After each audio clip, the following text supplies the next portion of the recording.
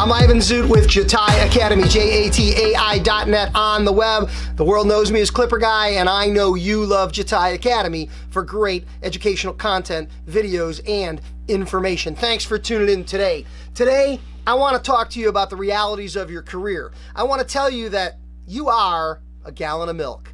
You are a block of cheese. You are a chicken breast on a foam tray, plastic wrapped in the meat department at the grocery store. You have an expiration date. I know you don't want to hear that, and I'm not being morbid, but what I'm telling you is your career has an end. And that end may be sooner than you think. And you may not know what it's going to be. But what you do need to know is with a conscious awareness of the fact that you just can't do this forever, you need to be proactive about either extending your career as long as you possibly can or making the most of your career during the short and limited time that you have. So, what I want to offer you today are my top five tips for recognizing that as a professional beauty and barber, hair cutter, or practitioner in our industry, you have an expiration date, and let's make the most of the time you've got. Number one on the list is you got to take care of you.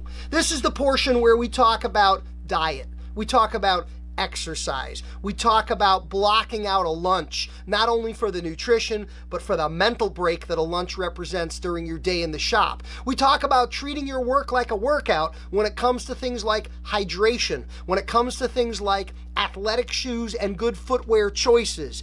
You can't take care of them if you don't take care of you. So, a long term healthy career, making the most of the time you have, starts with you taking care of you. Next on the list, you've got to change the way you move. You've got to change the way you use yourself, your biomechanical parts, your physical body. What are we talking about here? We're talking about mixing up the cutting clipper, scissor, razor different cutting tools in different circumstances that will change up the way you use your hands and your wrists. There's a big difference between doing this all day with a scissors and flicking your wrist all day with a clipper and mixing up the tools you use and the way they impact your body. We're talking about pumping up the chair. Be good to your back, be good to your legs. We're talking about turning the chair, putting the miles on the client, not putting the miles on the hair cutter. So, in the context of the work that you do, think about how you move. And for beauty industry professionals that do things like hair color,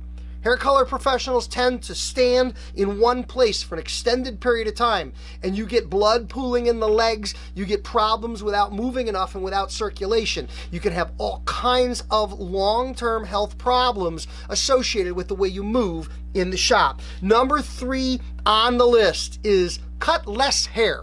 Now, I'm not telling you to make less money or do more work, but I'm telling you, if you're only good for 243,971 haircuts or whatever a career number is for you based on how you care for yourself and how you move, if you're only good for a certain number of haircuts, every one of those haircuts better bring in more money.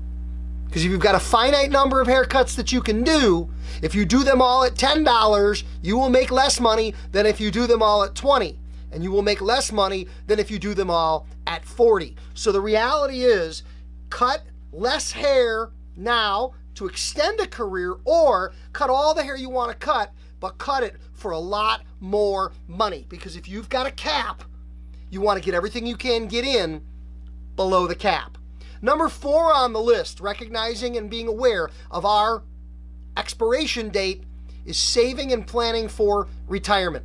Retirement is sooner than you think. I'm closer to the end of my career than I am to the beginning. Someone watching this video might be closer to the beginning of their career than they are to the end. But I will tell you this if you're able to watch this video, that means you're able to operate a cell phone or you're able to have access to the internet.